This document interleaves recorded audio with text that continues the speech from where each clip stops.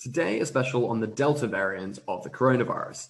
With the help of the Biodigital Human, I'm going to be talking about what the Delta variant of coronavirus is, whether it's more transmissible, so whether it's more easily spread from human to human, whether it's more deadly and dangerous, and crucially, how you can protect yourself against the Delta variant. So, first of all, what is the Delta variant? Well, it was discovered in India in the fall, but it's rapidly spread across the globe. It's estimated that about 99% of new cases in the United Kingdom are the Delta variant. Across Europe, it's estimated by the end of August, it'll be about 90% of new cases will be Delta variant.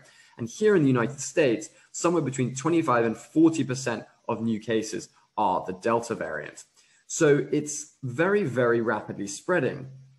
What is it though? Why is it different? Well, if you look at this, this is SARS CoV 2, so 3D interactive visualization of the coronavirus. And these are spike proteins around the edge. The spike proteins give coronavirus its name. These are these orange things, because if you look at them under an electron microscope, it looks like it's wearing a crown. And crown in Latin is corona. So the Delta variant has a mutation in the spike protein. And it's thought that that mutation in the spike protein makes this virus more transmissible. The reason being is if we go to another chapter, you'll see that spike protein binds to ACE2 receptor when it enters the human body. So this is the ACE2 receptor here. This is the coronavirus. And this is the spike protein binding to ACE2 receptor. It's thought that it binds more easily to these ACE2 receptors in the Delta variant and therefore is more able to infect more people. It goes into our cells, replicates, goes to infect other cells, and then you can infect other people. It's also thought that that mutation offers some type of protection against our immune system. Here, these green shaped objects are antibodies, and they typically bind to the spike protein to prevent it from then binding to ACE2 receptors to infect us. But it's thought that this new mutation offers some protection against antibodies and also some protection against immune cells that usually destroy the virus. Not complete protection against our immune system, but some protection, which makes it more easily transmitted from human to human. Is it more deadly? Is it more dangerous? Well, not necessarily. Evidence suggests that it's not more dangerous nor more deadly than the other viruses, the other variations and variants of coronavirus.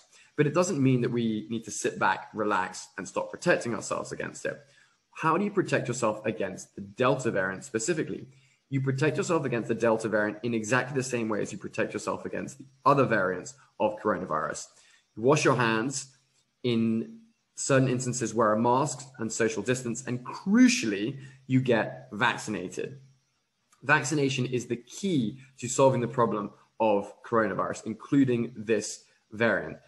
It's been shown that the current vaccines that we have evidence suggests that they do work against this variant. Moderna just re- released some information showing us that their vaccination does neutralize this Delta variant. So get vaccinated, get fully vaccinated. That means two vaccines for a lot of vaccines out there and one vaccine for J&J. After two weeks from your final vaccine, that means you are fully vaccinated. Really important to get vaccinated. For any more information, go to biodigital.com. This was a Dr. Tom talk on the Delta variant of coronavirus.